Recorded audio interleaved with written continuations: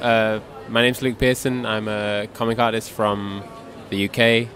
Uh, I draw a series called the Hilda Comics.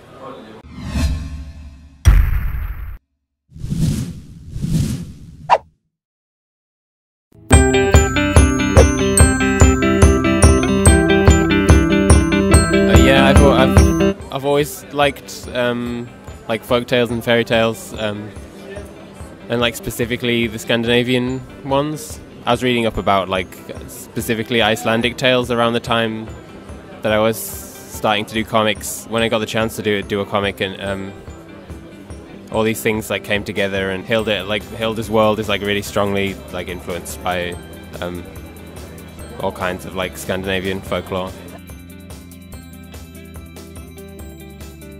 Uh, yeah, I'd say that was true. Like, she's not really, she's not like me at all. Um, she's like an idealized version.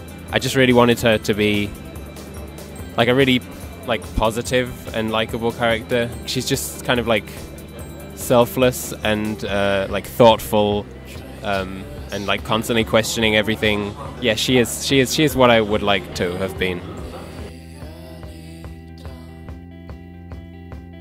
The tone that I try to achieve in the comics like comes specifically from um, like the style of the folk tales that I was reading. Like it's like the source material for so so much uh, fantasy literature, um, but it's always blown up into like like high fantasy. Like it's all everything's epic. Um, and it's about like gods and ba- and like battles. Um, but I wanted to kind of like try and try and like draw on the same like source material, but um, focus on just like the small things, just like the weird, like quiet things. There's a specific book of stories that I was reading, and they're just written in this really um, matter of fact um, style where they're just kind of re- almost like boringly described. I really like that because it's it's it's like reading a, it's almost like reading it's just reading just like a boring recollection of this thing that happened, but it's like the strangest thing in the world. So that was kind of like why I wanted to try and get this feeling uh, across.